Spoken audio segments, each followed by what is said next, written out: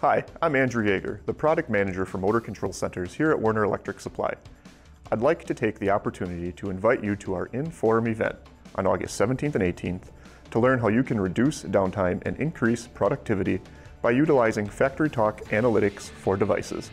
FactoryTalk Analytics for devices is a drop-in solution to provide turnkey visibility into the health of your control system, including alarms, faults, and other diagnostics.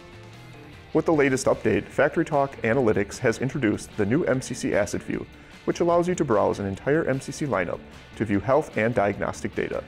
With the latest Rockwell pedestals and interactive demos on site at our event, there has never been a better time to discover how to make your data work for you. Be sure to save the date for IN4M August 17th and 18th at Lambeau Field in Green Bay, Wisconsin.